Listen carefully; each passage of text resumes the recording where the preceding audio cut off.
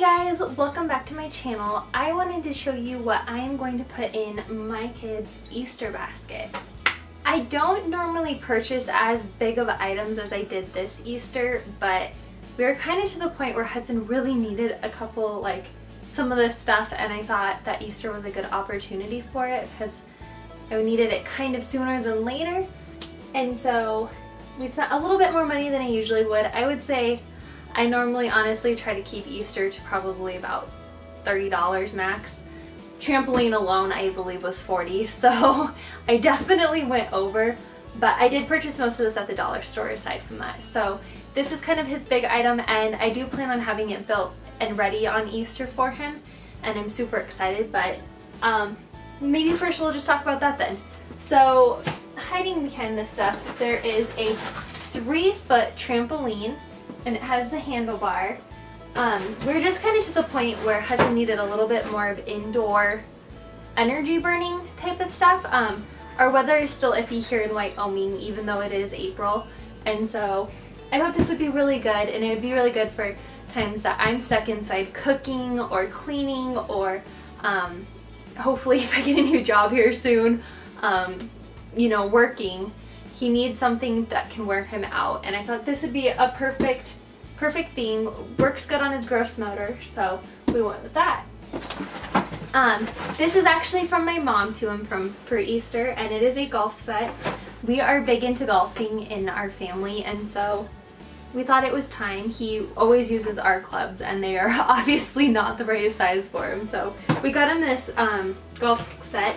This was only $8 at Walmart. Um, I really like that it has the like holes for the golf balls. I thought that was pretty cool.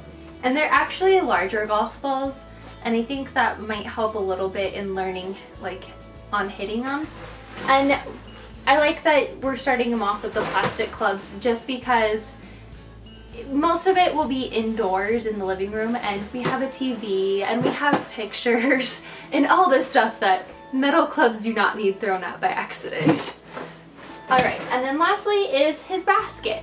I'm gonna jump up a little bit closer to you guys for the basket because there are some little things in here.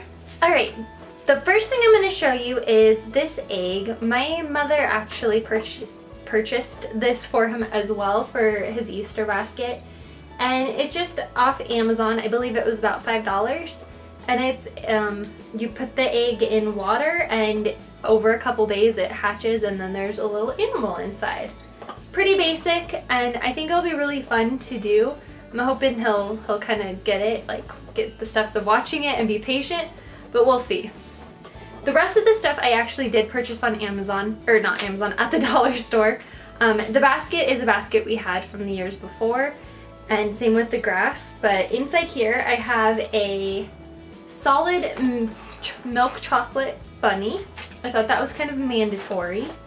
And then I got him some Dory Bubbles, some Dory Gummy Fish Candies, and I actually got two of these. I have this one for his basket, but I also got a second one so I can put the gummies in his Easter eggs.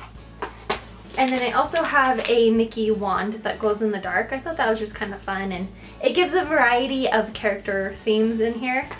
And then at, um, this I forgot, this was not at Dollar Store, but this was at Walgreens and it was a dollar. And he saw this thing and he junk and loved it. I don't know why, but it lights up, it's a dollar, and it's a little ring. Easy peasy.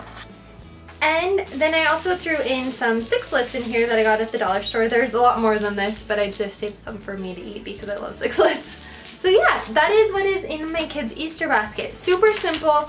Um, because I spent so much money on the trampoline, I kept it pretty basic when it came to the basket. And in all honesty, he is only, he's almost two and he doesn't really know what the junk's going on yet, just that there will be cool stuff. So it works out either way. So there we go.